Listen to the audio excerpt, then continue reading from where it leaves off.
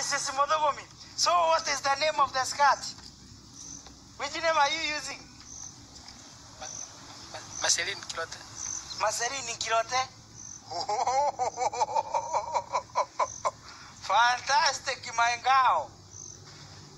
Look at your face betrays your skirt.